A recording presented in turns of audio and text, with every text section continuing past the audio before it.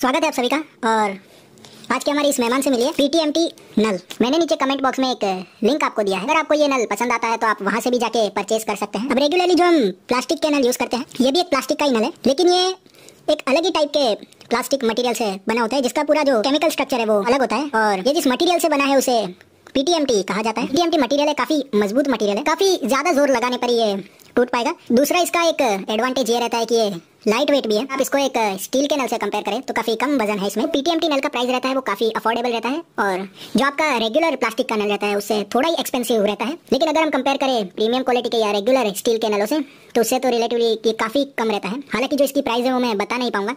उसका कारण यह है कि इसकी प्राइस लोकेशन टू लोकेशन बदलती रहती है। अगर मैं आपको एक एक्जैक्ट नंबर बता भी दूँ तो उसका कोई फ़ायदा नहीं होगा। तो बस यही था आज की इस वीडियो में पीटीएम टी नल के बारे में। उम्मीद करता हूँ कि आज की वीडियो आपको पसंद आई होगी। तो चले फिर मिलते हैं अगली वीडियो में। तब तक के लिए थैंक्स फॉर वॉचिंग